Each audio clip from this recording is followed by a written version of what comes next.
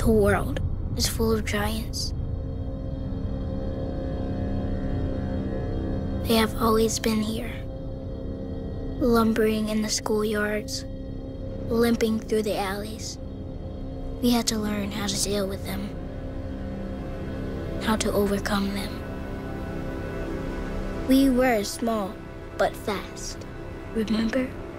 We were like a wind appearing out of nowhere. We knew that being clever was more important than being the biggest kid in the neighborhood. As long as we keep our heads down, as long as we work hard, trust what we feel in our guts, our hearts, then we're ready.